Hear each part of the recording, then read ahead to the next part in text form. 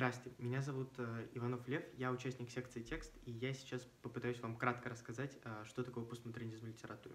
Вообще, э, ответить на вопрос, что такое постмодернизм, крайне трудно. Мы можем только приблизительно описать это как явление после военной культуры 20 века. Но я попытался выделить четыре, э, на мой взгляд, основных определяющих признака э, постмодернизма в литературе. Итак, э, первый признак – это эклектичность. То есть, когда один большой объект состоит из множества маленьких разнородных объектов.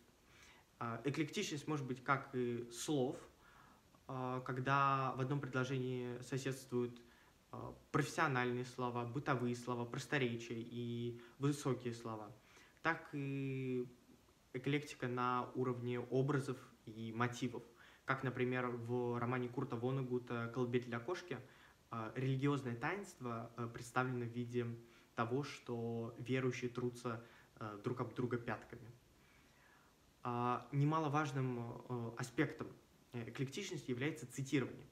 А, авторы-постмодернисты а, любят ссылаться на своих предшественников и потомков и буквально а, брать из их произведений фрагменты в свои. Так, например, в роман Умберто Эко «Имя Розы» буквально соткан из разнородных фрагментов. Там даже, например, есть параграфы из трактата 15 века «Молот ведьм», который вообще повествует о том, как определять ведьм и изгонять дьявола, ну, изгонять бесов. А, вторым важным признаком а, постмодернизма в литературе является а, морально-нравственный релятивизм, то есть абсолютная относительность моральных и нравственных норм. Например, тот же Ванугут пишет роман «Бойня номер пять», где полностью развинчивается идеализация войны как священного долга и обязанностей героя, а, что идет напрямую в разрез с традицией, которая начинается еще с Гомера. Третий пункт – это так называемая смерть автора.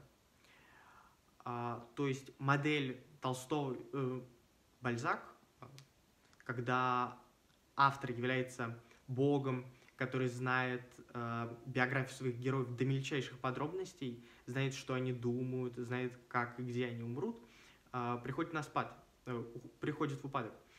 И вместо этого э, автор становится как бы наравне и с героем, и с читателем, и становится равноправным э, участником литературного процесса. Четвертый, э, последний признак – это доведение до абсурда разных модернистских и более ранних э, техник. Всеобщее высмеивание и пародирование.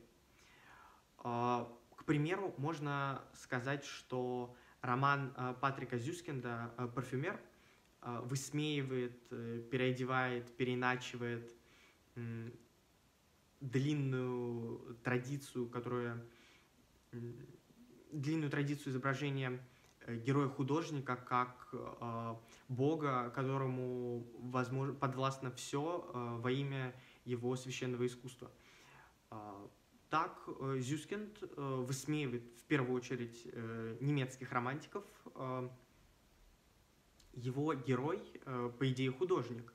Вместо того, чтобы создавать что-то великое, э, расчленяет женщин, снимает с них кожу ради своих парфюмов о том, э, как выглядит русский постмодернизм э, и как поменялась современная русская литература за последние 20 лет, я вам э, расскажу позже на, на, уже на очной конференции.